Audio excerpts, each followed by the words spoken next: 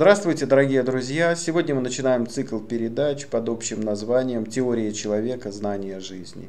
Меня зовут Сергей Мицевич, я автор электронных книг «Как найти себя», «Обретение разума» и портала развития человека «Знание жизни». Чем эта передача может быть полезна для вас лично? Когда-то давно, в юности, я поставил перед собой цель найти знание, которое поможет жить эффективно – быть счастливым. Это было во время распада Советского Союза в далеком 1991 году. Распалась финансовая система, и огромное количество людей потеряли все свои сбережения, в том числе и мои родители. Я переживал в это время огромную любовь, и она была безответной, приносила только страдания. В институте, когда я снимал свои курсовые фильмы, я понял, что я сам не знаю, как жить и мне нечего сказать людям.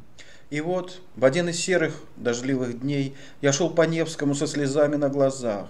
Мое отчаяние кричало мне, почему же ты так одинок? Почему же так больно жить? Передо мной будто опустилась стена, которая не позволяла идти вперед, не позволяла мне жить. И тогда я пообещал себе, я найду знание жизни. Не может быть, чтоб его не было. Неужели тысячи поколений моих предков жили так же, не понимая и не зная себя, мучаясь и страдая? Это невозможно. Знание жизни есть, и я найду его. Это знание, как жить эффективно, как быть счастливым.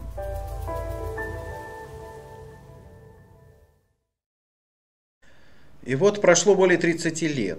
Я написал две книги «Как найти себя» и «Обретение разума», а сейчас работаю над третьей. На определенном этапе работы я понял, что знания выстраиваются в простую, понятную структуру, систему. Но что же это за знания? Где я нашел их? Началом всему стал момент выхода из кризиса, его кульминация. Чтобы выжить, надо было измениться, найти учителя – найти знание, которое откроет дорогу вперед.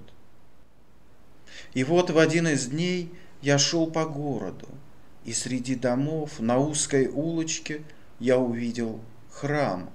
Его шпили возносились к небу, хотя он был зажат между домами.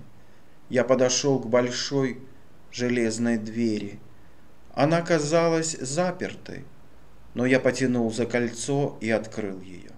За дверью был свет, и я пошел к нему.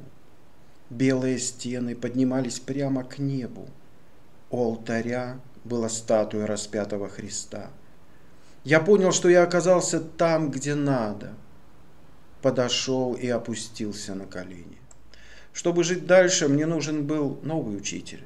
Мне нужна была новая высшая ценность жизни, которая бы позволила мне реализовать в этом мире себя и он был передо мной.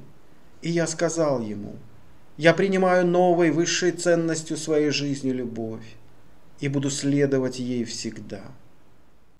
Так я обрел себя, я изменился, и это было началом моего пути.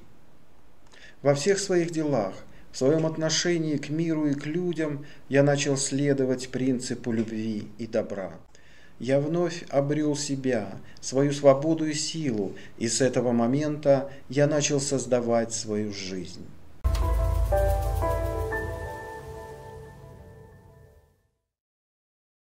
Что же такое знание жизни? Это теория человека-творца, личности, созидателя себя и мира.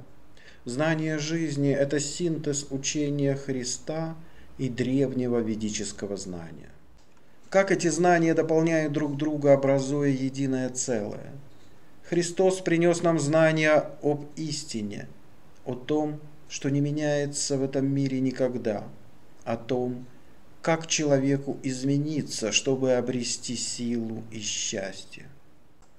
Христос указал нам путь, путь самосовершенствования, развития и реализации себя. Ведическое знание – говорит нам о том, как практически идти по этому пути, как реализовать в этом мире себя, как обрести счастье.